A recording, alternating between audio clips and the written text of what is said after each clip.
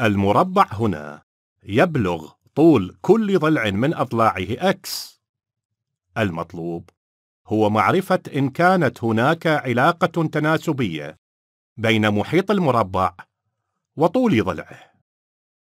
فكروا قليلا في الأمر.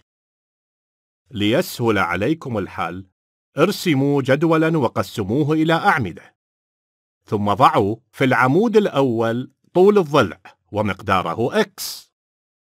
وضعوا المحيط في العمود الثاني. الآن احسبوا المحيط.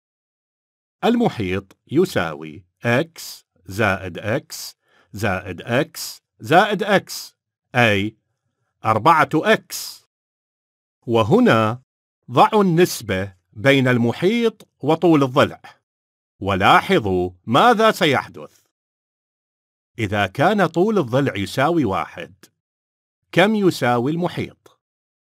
أربعة ضرب واحد أو واحد زائد واحد زائد واحد زائد واحد الناتج هو أربعة أما النسبة فتساوي أربعة إلى واحد وتساوي أربعة أما إذا كان طول الضلع اثنين فإن المحيط يساوي اثنان زائد اثنان زائد اثنان زائد اثنان أو أربعة ضرب اثنان ويساوي ثمانية. أما النسبة فتساوي ثمانية إلى اثنان وتساوي أربعة. من الواضح أن هناك نمطا يتكرر هنا. يبدو أن نسبة المحيط إلى طول الضلع تساوي دوما أربعة. يمكنكم متابعة الحساب.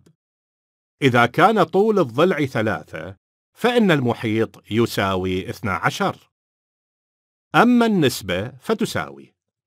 12 مقسومة على ثلاثة ويساوي أربعة. فكروا معي بالذي يحدث هنا. عندما تحسبون المحيط فإنكم تضربونه بالعدد أربعة. لاحظوا النسبة بين المحيط وطول الضلع. إذا كان طول الضلع يساوي x فإن المحيط يساوي 4x إذا قسمتم 4x على x ستكون الإجابة دوما أربعة. وهذا يتوافق تماما مع شرط وجود علاقة تناسبية. فالنسبة بين المحيط وطول الضلع تساوي دوما أربعة. لا تنسوا أنه بإمكانكم الحصول على العلاقة التناسبية دون استعمال الجدول حيث أن محيط المربع يساوي أربعة ضرب طول الضلع.